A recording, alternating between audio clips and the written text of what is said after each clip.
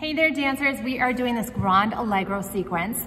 It's long, so you can break it part um, A and B, and that's what we've done in class. We're gonna go slow. I'm gonna break it down slow, and then you can rewind it to repeat it. We're gonna do both sides, okay? So B plus your right leg. We're gonna start with a grand uh, waltz.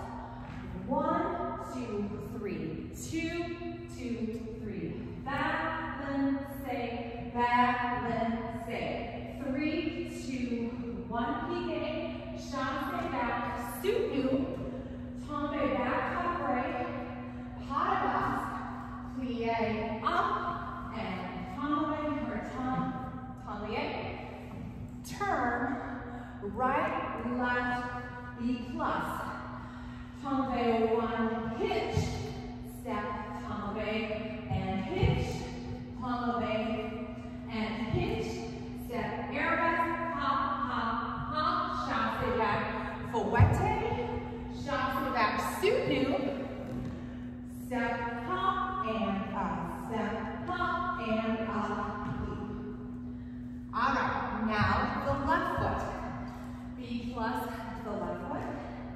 And we have waltz, two, three, two, two, three.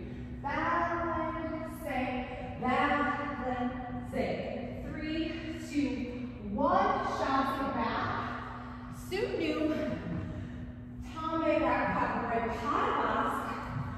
Plie up, swish, swish, unwind, step, step, B.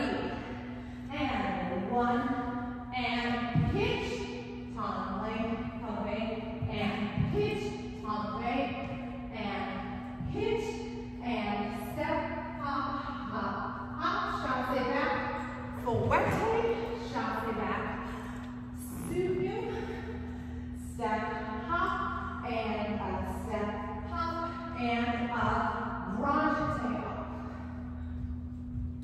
So that'll break it down. That fouette is an attitude when we do the fouette. So as you're practicing and uh, going through the details of that.